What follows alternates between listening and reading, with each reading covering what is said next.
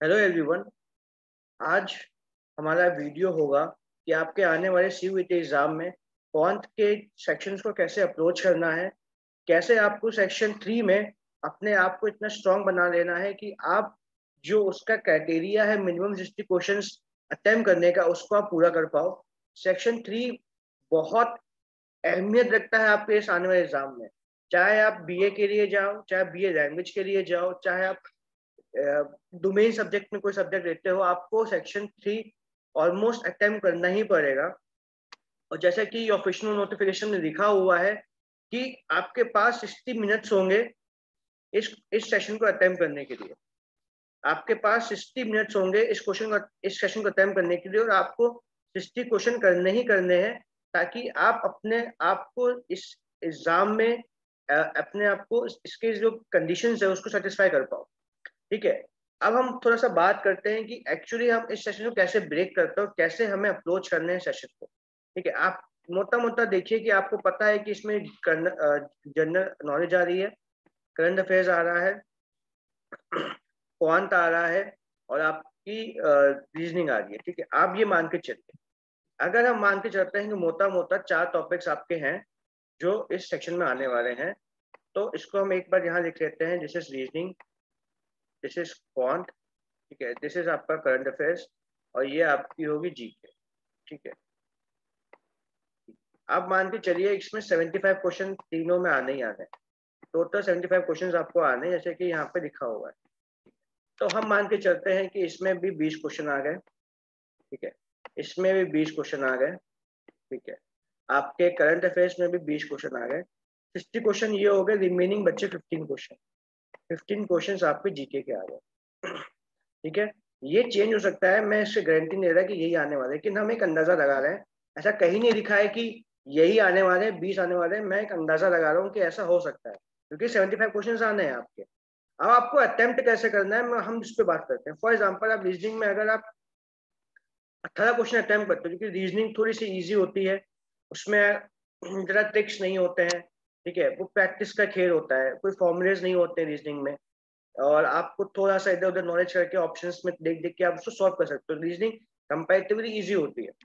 फिर हम क्वांट में मान के चलिए, पंद्रह में से आपने बीस क्वेश्चन कर दिए बीस में से पंद्रह क्वेश्चन कर दिए तो आपके तैंतीस क्वेश्चन यही हो जाते हैं।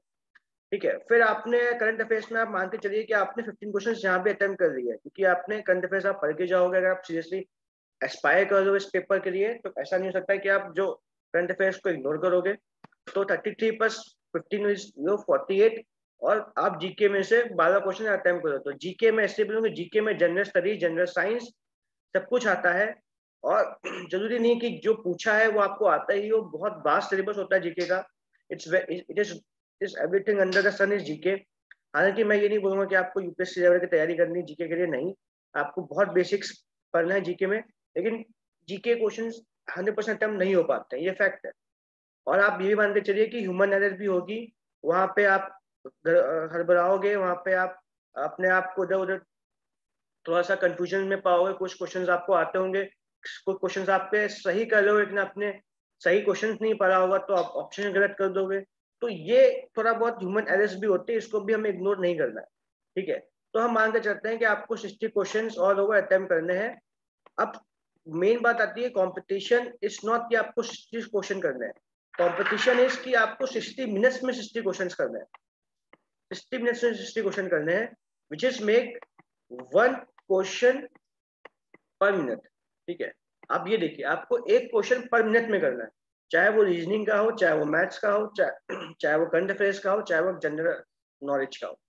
आपने अगर किसी भी क्वेश्चन में आपने ज़्यादा दिमाग लगाया, ज़्यादा आपको लग रहा है कि क्वेश्चन आपको फंसा रहा है आप तुरंत नेक्स्ट क्वेश्चन में मूव ऑन कर जाओ। और आपको लगता है कि क्वेश्चन क्योंकि आपके पास फिफ्टीन क्वेश्चन छोड़ने की भी एक, आपके पास एक प्रॉफिट है कि आप फिफ्टीन क्वेश्चन छोड़ सकते हो। आपको sixty seventy five seventy five question नहीं करने ऐसे कोई, आपके पास कंपल्शन नहीं you still have the options to leave fifteen question तो आपको कोशिश इस हिसाब से करनी है कि आप ये जो डिमांड है कि वन क्वेश्चन आपको पर मिनट में करना है, इसको आप सेटिस्फाई कर पाओ। मैथ्स और रीजनिंग आपका टाइम खाती है। बहुत से क्वेश्चन ऐसे होते हैं जो टाइम खाते हैं। तो आपको ये क्वेश्चन सिलेक्ट करने पड़ेंगे कि किस क्वेश्चन में मुझे जाना है, किस क्वेश्चन में मुझे बैठने फॉर एग्ज़ाम्पल दिया ही अगर आ गया है तो डी आई मान के चलो आपकी प्रैक्टिस नहीं तो कम से कम वो पाँच मिनट खाएगा। अगर आपकी प्रैक्टिस नहीं है तो आप अगर अपने पाँच मिनट एक क्वेश्चन में लगा दिए तो ऑटोमेटिकली वो जो बाकी क्वेश्चन जो टाइम जाने वाला है, वो कम हो जाएगा ऑटोमेटिकली वैसे ही रीजनिंग में अगर कोई ऐसा टॉपिक कोई ऐसा क्वेश्चन आ जाता है, चाहे वो पजल आ गई फॉर एग्ज़ाम्पल तो वो आपका टाइम खा जाएगी। तो आपको ऐसा क्वेश्चन सिलेक्ट करने हैं कि जो आपको एक क्वेश्चन मिनट पे सेटिस्फाई हो और आपके लिए वो चीज़ क्या कहते हैं बेनिफिट हो कि वो आपको आगे जाके सेशन में डिस्टर्ब ना करे। तो ये चीज़ आपकी प्रैक्टिस से आएगी, ये चीज़ आपके मॉक लगाने से आएगी, ये चीज़ आपकी एक दिन में या माइंडसेट क्रिएट करने से नहीं आ जाएगी। आपको मॉक लगाने पड़ेंगे, आपको देखना पड़ेगा कौन सा टॉपिक आपके लिए अच्छे आपका स्ट्रॉन्ग होल्ड है, कौन टॉपिक में आपकी वीकनेस है। करंट अफेयर्स सब करंट अफेयर्स में हर कोई महारत नहीं हासिल कर सकता क्योंकि वो भी एक अपने आप में अंडर द सन मेरा कॉन्सेप्ट है कि everything come under the sun current affairs में यही होता है। तो करंट अफेयर्स इसलिए मैंने पंद्रह, बीस में से पंद्रह क्वेश्चन दिए क्योंकि पाँच क्वेश्चन आप छोड़ सकते हो करंट अफेयर्स में पाँच क्वेश्चन ऐसे ज़रूर मेरे करंट अफेयर्स में जो आपने टच नहीं किए होंगे और किसी ने भी टच नहीं किए होंगे। And same goes for general knowledge maths और रीजनिंग ऐसा होता है क्योंकि बहुत चीज़ें आपके प्रैक्टिस से आती है। तो अगर आपने जरा से प्रैक्टिस की अच्छे से, अगर आप सीरियस एस्पिरेंट हो, आपने प्रैक्टिस की है मैथ्स और रीजनिंग की तो आप इस सेशन को अटेम्प्ट कर सकते हो। इसलिए आपको अपने टॉपिक्स अपने हिसाब से डिसाइड करने पड़ेंगे कि मुझे रीजनिंग में अठारह क्वेश्चन करना ही करना है। क्योंकि अगर फॉर एग्ज़ाम्पल आपके क्वांट में पंद्रह क्वेश्चन नहीं हो पा रहे हैं, बहुत टफ आ गया कैसे भी तो आप मानते चलो कि आपको बारह क्वेश्चन अटेम्प्ट करना है। तो आपको फिर ऐसा सेशन देखना पड़ेगा जहाँ पे आप वो कंपनसेट कर पाओ अपनी चीज़ को। तो इस हिसाब से आपको प्रैक्टिस करनी है, इस हिसाब से अपनी स्ट्रेटेजी बनानी है। इसलिए सेक्शन थ्री बहुत ज़रूरी हो जाता है, बहुत टफ हो जाता है यहाँ पे। सेक्शन बाकी सेक्शंस में क्या है, जैसे डोमेन है। डोमेन में आपको पता है कि आप कितने क्वेश्चन आने ही, आपको डोमेन स्ट्रॉन्ग करना ही करना है। सेक्शन थ्री में क्या है कि एक तो चार सब टॉपिक हैं, जैसा हमने डिस्कस किया, और हर टॉपिक अपने आप में उझाने वाला है, अपने अगर किसी में आपकी स्ट्रॉन्ग होल्ड नहीं है, चाहे वो करंट अफेयर्स हो जनरल नॉलेज हो क्वांट हो या रीजनिंग हो, ठीक है। अब हम आते हैं कि एक्चुअली में आने वाला क्या वाला क्वांट में। यहाँ पे अगर आप देखेंगे तो यहाँ पे एक चीज़ है, उन्होंने एक छोटा सा हिंट दिया हुआ है कि जो स्टैंडर्ड होने वाला है वो क्लास एट तक होने वाला है। अब स्टैंडर्ड क्लास एट का मतलब ये नहीं होता है कि आप जो क्लास एट में जो चैप्टर्स दिए हैं, उससे सवाल आने वाले हैं। आपने कोई क्लास एट की किताब उठा दी और आपने लगा दिया, बोल दो कि इसके पिछले क्वेश्चन दिए हैं, वही आने वाले नहीं। स्टैंडर्ड का मतलब ये होता है कि जो टॉपिक्स उसमें दिए हैं, जैसे कि यहाँ पर कुछ टॉपिक मेंशन किए अरिथमेटिक अरिथमेटिक्स मतलब percentage percentage profit and loss average C I N S I ठीक है रेशियो एंड प्रपोजन आपका time distance speed time and work ये सब आपका अरिथमेटिक का पार्ट है। Algebra same for algebra quadratic questions हो गई, ठीक है, वो सब आपका लीनियर क्वेश्चंस हो गई, वो सब आपका एल्जेब्रा का पार्ट है। ज्योमेट्री आपको पता है मेंसुरेशन आपको पता है। तो स्टैंडर्ड का मतलब ये होता है कि जो टॉपिक्स आप क्लास एक तक पढ़ते हो, आपको उसी टॉपिक्स में सवाल आने वाले हैं, ठीक है, और उस, आपको जो बेस होना रिफर करना फॉर एग्ज़ाम्पल यहाँ पे कहीं पे भी मैंने जैसे अभी मैं इस, इस, इस, पे आता हूँ ठीक है अब अब देखें यहाँ पे कहीं पे भी टिग्नोमेट्री मेंशन नहीं की गई है ठीक है आपकी क्लास बहुत से कम बोझ होंगे जो क्लास एट में टिग्नोमेट्री इंट्रोड्यूस करते हैं तो आपको ये माइंड से थोड़ा सा समझ लेना है कि टिग्नोमेट्री अगर मेंशन नहीं की गई है तो वो नहीं आएगा कैलकुलस क्लास टेन के बाद इलेवन से शुरू होती है तो वो भी नहीं आएगी ठीक है तो क्लास स्टैंडर्ड एट का मतलब ये है कि जो चैप्टर्स दिए गए हैं, जो चैप्टर्स क्लास एट में किसी भी बोर्ड में, चाहे वो एनसीआरटी हो आईसीएससी बोर्ड हो, उनसे रिलेटेड क्वेश्चंस आने वाले हैं, उन चैप्टर से रिलेटेड क्वेश्चंस आने वाले हैं। इसका मतलब ये नहीं कि आप क्लास स्टैंडर्ड एट के क्वेश्चंस आएँगे। आप ऐसा नहीं करोगे कि आप सिर्फ़ क्लास एट की किताब लेके आ जाओ और उसको सॉल्व करने लगो। ठीक है? अब हम आते हैं, थोड़ा सा डिस्कस करते हैं टॉपिक्स फॉर एग्ज़ाम्पल ये हो रैशनल नंबर रैशनल नंबर्स हो गया आपका लीनियर इक्वेशन हो गया अंडरस्टैंडिंग क्वाड्रेक्टर्स हो गया प्रैक्टिकल ज्योमेट्री हो गया, जैसे कि वहाँ लिखा हुआ है ज्योमेट्री का टॉपिक डेटा हैंडलिंग अब देखिए, यहाँ पे इन्होंने डेटा हैंडलिंग दिया हुआ है और यहाँ पे इन्होंने इंट्रोडक्शन टू ग्राफ दिया हुआ है। ये टॉपिक्स बहुत ही ज़्यादा वेट से मुझे लगे। हालाँकि ये दोनों टॉपिक स्टैट से रिलेटेड है। सिंपल सी बात है स्टैट से रिलेटेड है। इसमें ऐसा कुछ भी नहीं है जो अलग से मैंशन किया है। अगर मैं थोड़ा सा डिकोड करूँ तो डेटा हैंडलिंग का मतलब सिंपल से इन्होंने होता है मीन मीडियन मोड और ग्राफ्स मतलब जैसे कि आपके पाई चार्ट हो गए हिस्टोग्राम हो गया बार चार्ट हो गया स्कैटर ग्राफ हो गया टाइम ग्राफ हो गया। इस तरीके से ग्राफ्स होते हैं तो ये आपका मान लीजिए एक क्वेश्चन डी का यहाँ से बन सकता है इंट्रोडक्शन टू ग्राफ से। फिर अगर आप देखेंगे स्क्वायर एंड स्क्वायर क्यूब्स ठीक है, ये ये क्वेश्चन यहाँ से क्वेश्चन बनते हैं आपके ट्रिक्स वाले। ये पूरा कैलकुलेशन पे बेस्ड टॉपिक्स होते हैं। ठीक है? फॉर एग्ज़ाम्पल अगर आपको थर्टी फाइव स्क्वायर पूछ दिया सिंपल है तो आप वहाँ पे सिंपल आप ऐसे ऐसे करने बैठ जाओगे ठीक है? और ये आपका एक मिनट दो मिनट खा जाएगा। जहाँ आपने ये करने बैठा आप मान के चलो आपका क्वेश्चन आंसर तो निकाल दोगे लेकिन एक मिनट दो मिनट खा गया तो दूसरे क्वेश्चन पे आप वो टाइम नहीं दे पाओगे। सिंपल सी बात है। तो ये क्वेश्चन ये टॉपिक्स उन्होंने दिए हुए हैं ठीक है? ये टॉपिक्स पीओ में भी आते हैं। तो ऐसा नहीं है कि आ, ये यहाँ पे क्या वो भी क्या स्टैंडर्ड मेंशन करते हैं। फिर आते हैं कंपेरेटिव क्वांटिटीज ठीक है? अब ये टॉपिक देखिए, यहाँ पे कहीं पे भी इन्होंने percentage profit and loss S I N C I कहीं पे भी इन्होंने मेंशन नहीं किया हुआ जब आप इस टॉपिक में अंदर घुसेंगे, तब पता चलेगा कि ये सब इस टॉपिक का पार्ट है। ये सब इस टॉपिक का पार्ट है, इन्होंने एक ही टॉपिक के अंदर सारे अरिथमेटिक में ऑलमोस्ट घुसा रखा है। फिर एजेब्रिक एक्सप्रेशन ठीक है, जैसे कि A plus B whole square concept जैसा फॉर्मुलेज होते हैं, इससे आंसर्स निकलते हैं, जिससे सिंप्लीफिकेशन होता है, वो सब इसमें आएँगे। विजुअलाइजिंग सॉलिड स्क्वायर्स हो गए मेंस्ट्रुएशन हो गया फॉर एग्जांपल ये भी एक टॉपिक है जिसमें पूरा फॉर्मूला बेस्ड टॉपिक होता है। एक्सपोनेंशियल पावर्स पूरा कैलकुलेशन का खेल है। डायरेक्ट एंड इनवर्स प्रोपोर्शन ये रेशियो प्रोपोर्शंस का कॉन्सेप्ट इसमें अप्लाई होता है। फैक्टराइजेशन सिंप्लीफिकेशन कॉन्सेप्ट पे स्पीड इस इस इस चैप्टर में स्पीड डिपेंड करता है। तो ये अगर आप मोटा मोटा देखेंगे तो ये क्लास एट का मतलब ये है कि आपको वो वो टॉपिक पूछे जा रहे हैं जहाँ पे स्पीड का खेल है। जहाँ पे आपकी प्रैक्टिस का खेल है। नॉलेज का खेल नहीं आंसर तो आप कैसे भी घूम फिर के निकाल दोगे जैसे मैंने बताया कि पैंतीस का स्क्वायर पूछा आंसर निकाल दोगे आपके फोर्टी सेवन का क्यूब पूछा, आप दो मिनट आप पाँच मिनट निकाल के आंसर निकाल दोगे क्यूब निकाल निकाल के। लेकिन वही है कि आप पाँच मिनट का आंसर निकाल दो खत्म हो गया वहीं पे खेल। आपका आंसर तो आ जाएगा, गलती से अगर आपने आंसर आ भी गया और आपने गलत टिक कर दिया तो वो पाँच मिनट भी गया क्वेश्चन गया तो अलग।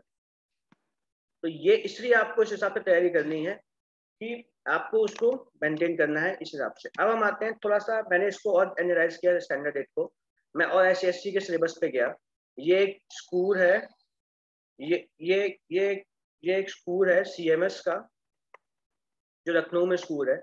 मैंने उनका सिलेबस उठाया और उनके सिलेबस से मुझे पता चला। जब मैंने उनके सिलेबस को एनालाइज किया तो आप देखिए टॉपिक्स ऑलमोस्ट सेम है। चाहे वो रेशनल नंबर्स हो एक्सपोनेंस पावर या जेब्रिक हो अंडरस्टैंडिंग शेप्स हो, यहाँ पे भी देखिए वही कॉन्सेप्ट है। लेकिन उन्होंने यहाँ पे देखिए, इनके में एक टॉपिक दिया परसेंटेज एंड इट्स एप्लीकेशन जो कि सीबीएसई में ओपनली मेंशन नहीं है। फैक्टराइजेशन इन्होंने सेट्स भी दे दिया। अब सेट्स भी ओपनली सीबीएसई में मेंशन नहीं है। सिंपल एंड कंपाउंड टेस्ट वो भी सीबीएसई मेंशन नहीं है। कोऑर्डिनेट टेस्ट मेंशन है। अब यहाँ देखिए कोऑर्डिनेट ज्योमेट्री एंड ग्राफ्स और ये आपके डेटा हैंडलिंग ये पूरा इन्होंने वहाँ पे भी दे रखा था यहाँ पे भी। यहाँ पे इन्होंने कहीं कोऑर्डिनेट नहीं दिया हुआ, लेकिन यहाँ पे इन्होंने कोऑर्डिनेट दे रखा है। तो आप भी बात समझिए कि अगर आप स्टैंडर्ड एक को रिफर कर रहे हो तो आप ये मान के चलिए कि जो नॉर्मल जो मार्केट में जो चलता है सिलेबस स्टैंडर्ड मैथफॉन का, लगभग उसी लेवल पे ही हमें तैयारी करनी है। ऐसा नहीं है कि स्टैंडर्ड एट मेंशन है तो आप सिर्फ़ स्टैंडर्ड एट की किताब पढ़ के चले जाओगे और आप वहाँ पे जाके सोचोगे कि ये तो क्लास एट में मेंशन नहीं था, इन्होंने कहाँ से पूछ दिया? ठीक है। अब हम बात, अब हम थोड़ा सा कम कंपेयर कर, जैसे मैंने किया, वो कंपेरिजन मैंने यहाँ पे मेंशन किया हुआ है, ठीक है। अब हम बात करते हैं कि हमारी अप्रोच क्या होने वाली है। देखिए, हमारी बहुत ही सिंपल अप्रोच होने वाली है कि सबसे पहले आपको सिर्फ़ और सिर्फ़ एनसीआरटी रिफर करनी है। अब एनसीआरटी में ये नहीं कि क्लास एट की उठा के ले आओ आप और लगाने शुरू, जी नहीं। आप कम से कम क्लास एट से लेकर क्लास टेन की टॉपिक्स उठाओ, ठीक है। आपको पढ़ना क्या है? जो क्लास एट में टॉपिक मेंशन है, आप उसी का स्टैंडर्ड क्लास टेन में पढ़ना है। टिग्नोमेट्री अगर नहीं मेंशन है क्लास एट में तो आप उसको नहीं टच करोगे। ठीक है? अगर आपको टाइम मिलता है, आपको शौक है पढ़ने का तो वेरियंट को आप पढ़ लेना। ठीक है? जैसे सर्कल्स आता है ट्राइंगल्स आता है प्रूविंग्स आती है, वो सब नहीं मेंशन है यहाँ पे। ठीक है? तो आप उसको बाद में टच करोगे। अगर आपको मन है टाइम टाइम नहीं होगी फॉर एग्ज़ाम्पल आज कल फॉर्म आ जाएगा एंड जो paper is on first week of July you don't have time to ये करना है कि मैं सारे टॉपिक जो जो नहीं मेंशन उनको भी मैं कवर करके जाऊँ। तो क्लास एट का मतलब ये नहीं है कि आप सीधे क्लास एट की किताब लेके आएगा सॉल्व करना शुरू कर दिए जी नहीं। आप क्लास एट से टेन तक आप एनसीआरटी उठाओ। मैं एनसीआरटी से बोलूँगी वो बेस होता है। जितना अच्छे से उसमें मेंशन होगा, वो किसी बुक में मेंशन नहीं होगा। मार्केट में पचास किताब मिल जाएँगी, एक पन्ने में चार फॉर्मूले दे देंगे और फिर पीछे पाँच सौ क्वेश्चन दे देंगे। उससे उसके ना आपको कॉन्सेप्ट समझ में आएगा, क्योंकि ना कुछ समझाने वाला होगा, ना ही आप दो, एक, दो, पाँच, पचास क्वेश्चन लगाने के बाद खुद उग जाओगे, जहाँ जहाँ क्वेश्चन नहीं बनना शुरू हो जाएँगे। ठीक है? वो पाँच टिक दे देंगे, ठीक है? आप लगाते रह जाओगे। पाँच सौ क्वेश्चन वो उससे आप कॉन्सेप्ट नहीं समझ पाओगे। कॉन्सेप्ट आपको एनसीआरटी समझाएगा। फिर आपको डिफरेंस समझना पड़ेगा स्कूल लेवल एग्ज़ाम क्या होता है, कि आप लोग का भी कॉन्सेप्ट स्कूल लेवल पे और एंट्रेंस लेवल पे क्या होता है। एंट्रेंस लेवल पे कोई श्योरिटी नहीं होती कि जो क्वेश्चन आ रहा है, वो उस स्टैंडर्ड का है कि नहीं है, ऐसे मैंने बताया। और एंट्रेंस में आपको अपनी स्पीड एंड एक्यूरेसी भी फोकस करना होता है। स्कूल में आपको स्टेप मार्किंग तमाम तरीके की चीज़ें होती हैं। अब वहाँ पे भी नहीं, अगर फॉर एग्ज़ाम्पल कोई ऐसा क्वेश्चन आ गया जहाँ पे आपको एक्स मानना है तो आप ये नहीं कि आप लव शीट में rate rate number will be X उसको फिर पाँच, दस स्टेप में सॉल्व करके आंसर निकाल रहा हूँ। ये स्कूल लेवल के माइंड सेट है कि मैं वहाँ पे स्टेप मार्किंग आंसर नहीं मिल रहा है। वहाँ पे एक क्वेश्चन एक मार्क्स का है तो चाहे आप एक मिनट में निकालो या दस मिनट में निकालो, मिलेगा आपको एक ही मार्क्स नो इवन तुक्का भी लगा दो तब भी आपको एक ही मार्क्स मिलेगा। ठीक है? उसको उनको एमसीक्यू है, ये सब पता होना चाहिए। दूसरा, आपको टॉपिक कैसे बताया कि आपको अंडरस्टैंड करना है, क्योंकि आप क्योंकि ये गारंटी नहीं है कि आप पाँच टाइप के क्वेश्चन लगा के चलेगा परसेंटेज के, उसी में से कोई टॉपिक फंस गया हो या सेम टू सेम क्वेश्चन आएगा। जी नहीं। आपको कॉन्सेप्ट ये करना है कि मुझे परसेंटेज को अप्रोच कैसे करना है। किस तरीके से मैं आंसर पे पहुँच सकता हूँ। फिर मैंने वही, पहले आप एनसीआरटी सॉल्व करोगे, फिर आप जाके स्टैंडर्ड बुक्स लगाओगे, जो भी मार्केट में अवेलेबल है। ठीक है, ये हमारी अप्रोच होनी चाहिए। तो हमने डिस्कस किया। आप हमारे साथ जुड़े एग्ज़ाम वेब पे। सी का रजिस्ट्रेशन शुरू हो चुके हैं। बहुत ही जल्द हमारे बैच शुरू हो जाएगा सेकेंड वीक ऑफ़ अप्रैल से। और रजिस्ट्रेशन शुरू हो चुके हैं। बहुत बच्चे ऑलरेडी एनरोल हो चुके हैं इस टॉपिक पे। यहाँ पे आ चुके हैं। आप प्लीज़ हमारे साथ जुड़िए। टाइम नहीं है लिटरी टाइम नहीं है। फॉर्म आ चुका है। एक दो हफ़्ते आपके फॉर्म भरने में जाएँगे क्योंकि फॉर्म भरना नहीं है। सब यूनिवर्सिटीज को देख के आपको फॉर्म भरना है तो टाइम लगेगा। साथ ही साथ आपके बोर्ड्स बहुत बच्चों के बोर्ड्स भी होंगे जो बोर्ड्स देने जा रहे होंगे। लिटरी हमारे पास मोटा मोटा एक महीना बच्चे का सीरियसली जिसमें हमें अपना सिलेबस कंप्लीट करना है, अपना मॉक कंप्लीट करना है टेस्ट पेपर्स लगाने रिवाइज करना है प्रीवियस ईयर क्वेश्चन करना है। तो बहुत चीज़ें हमें करनी है। तब जाके हम अपने सीयूटी में आप जाके एक एक प्रॉपर सीरियस एस्पिरेंट की तरह बैठ पाओगे। ठीक है? आप देखिए हमारे कोर्स में क्या क्या मिलेगा आप लोग को। आपको ऑनलाइन लेक्चर मिलेंगे रिकॉर्डेड लेक्चर मिलेंगे मॉक पेपर मिलेगा टेस्ट सीरीज़ मिलेंगी। डाउट क्लासेस हम टेस्ट सीरीज़ और मॉक पेपर का कराते हैं। इसके अलावा जो भी बच्चे सवाल पूछते हैं, उनका मॉक कराते हैं। प्रीवियस ईयर क्वेश्चंस भी सॉल्व करेंगे स्ट्रेटेजीज डिस्कस करेंगे, जैसे कि मैंने आज टॉपिक पे किया, वैसे हम करते रहते हैं। टीचर टू स्टूडेंट कॉन्टैक्ट चौबीस घंटे रहता है, बच्चा टीचर से कॉन्टैक्ट कर सकता है कभी भी, किसी भी टॉपिक पे, अपनी से related up to section validity है। ये नहीं कि हमने अपना सिलेबस करा कंप्लीट करा दिया और फिर हमारा आपसे कोई मतलब नहीं। आप जाने, आपका काम जाने। ऐसा नहीं है। हम आपसे कांटेक्ट जब तक आपका सेक्शन नहीं होगा, हम तक कब तक आपके लिए काम, के साथ काम करेंगे। सबसे इम्पोर्टेंट बात है हेल्प फॉर और कॉलेज एंड पोस्ट सिलेक्शन ये ये आपको कोई और नहीं दे रहा होगा, ये हम देंगे। इसका रीजन ये है कि यहाँ पर जो फैकल्टी है, वो डीयू की टॉप फैकल्टी है। डीयू से पढ़ के आए हैं जे से पढ़ के आए हैं डीयू के गोल्ड मेडलिस्ट हैं जे के गोल्ड मेडलिस्ट हैं। उनको पता है कि आपको पोस्ट और कॉलेज कैसे सेट करना है। सारे कोचिंग जितने भी आप आप देख रहे होगे, आप आप सब कुछ ऑनलाइन देख रहे होगे, आपको पता होगा क्या डिफरेंस है। हमारे डिफरेंस ये है कि हम आपको पोस्ट एग्ज़ाम के बाद जो मेन चीज़ होती है कि हमारा फेवरेट कॉलेज एंड हमारा फेवरेट कोर्स जिससे हम अपने यूजी परस्यू कर सकें और अपने कैरियर को अच्छे से बना सकें। ये बहुत ज़रूरी क्योंकि अगर आप फॉर एग्ज़ाम्पल डी में भी देखें तो बहुत से कॉलेज आपको मिलेंगे। जैसे नॉर्थ कैंपस मिलेगा साउथ कैंपस मिलेगा ईस्ट कैंपस मिलेगा वेस्ट कैंपस मिलेगा। इसमें भी बहुत से कॉलेजेस होते हैं। तो आपके हिसाब से, आपके स्कोर कार्ड से आपको बेस्ट का कॉलेज बेस्ट का कोर्स कौन सा मिल सकता है, इसमें भी हम आपकी हेल्प करेंगे। ठीक है? इसके साथ ही साथ हमारे ऑलरेडी बहुत से कोर्सेज चल रहे हैं। हमारी वेबसाइट पर जाइए, आपको मिल जाएँगे। जे का कोर्स चल रहा है एम ए हिस्ट्री का एंट्रेंस का कोर्स चल रहा है एम इंग्लिश का चल रहा है पॉल साइंस का चल रहा है सोशोलॉजी का चल रहा है। और सीयूटी का ऐसे बताया कि शुरू होने वाला है। बहुत ही just second week of April से। प्लीज़ अपने आप को इस करिए। ये बहुत ज़रूरी है। साथ ही साथ आप हमारे रेगुलर यूट्यूब चैनल पर जाइए। हमें सब्सक्राइब करिए ताकि आप जो भी रेगुलर अपडेट्स हैं, साथ ही साथ हमारे करंट अफेयर्स रोज आते हैं। मनदीप सर द्वारा इसको रोज फॉलो करिए। ये आपके फ्री ऑफ़ कॉस्ट है, यहाँ पे कुछ भी नहीं हो इससे अच्छा आपको कहीं नहीं मिलेगा। आपको बाकी जगह सब तरीके के अफेयर्स मिल जाएँगे, लेकिन आपको वो करंट पढ़ना है जो आपके एग्ज़ाम में आने वाला है, वो नहीं पढ़ना है जो कहीं नहीं आने वाला। सिंपल सी बात है। तो इसी साथ इसी के साथ मैं आपसे मैं आपसे रिक्वेस्ट करूँगा कि आप हमारे साथ जुड़िए और हमको रेगुलरली फॉलो करिए। Thank you everyone